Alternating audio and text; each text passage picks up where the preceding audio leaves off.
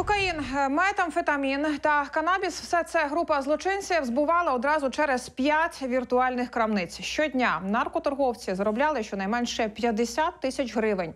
Чотирьох ділків розшукали та заарештували. Тепер їм загрожує до 12 років ув'язнення з конфіскацією майна.